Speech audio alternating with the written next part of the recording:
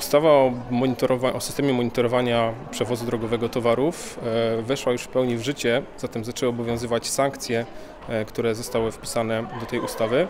E, Otrzymujemy już pierwsze informacje od przewoźników dotyczące kontroli, które są przeprowadzane przez funkcjonariuszy służby celno-skarbowej, które dotyczą właśnie spełnienia wymagań, mm, jeżeli chodzi o tą ustawę. Odpowiedzialność za naruszenia wynikające e, z ustawy e, ciążą przede wszystkim na odbiorcy oraz nadawcy ładunku, jednak dotyczą również przewoźnika e, drogowego, jak i kierowcy, który wykonuje dany transport danych towarów.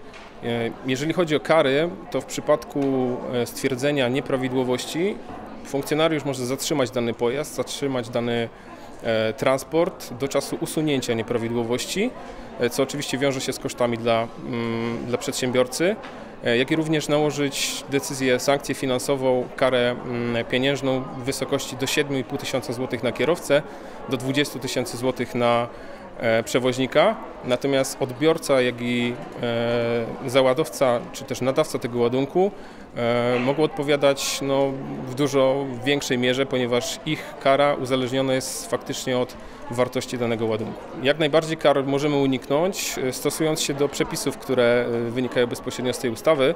No, przede wszystkim trzeba pamiętać o dokonaniu zgłoszenia w systemie elektronicznym SEND, które zostało stworzone przez Ministerstwo Finansów właśnie do celów tej ustawy.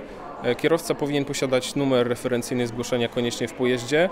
E, No i przede wszystkim e, rodzaj, jak i ilość przewożonego ładunku musi zgadzać się ze złożoną wcześniej deklaracją.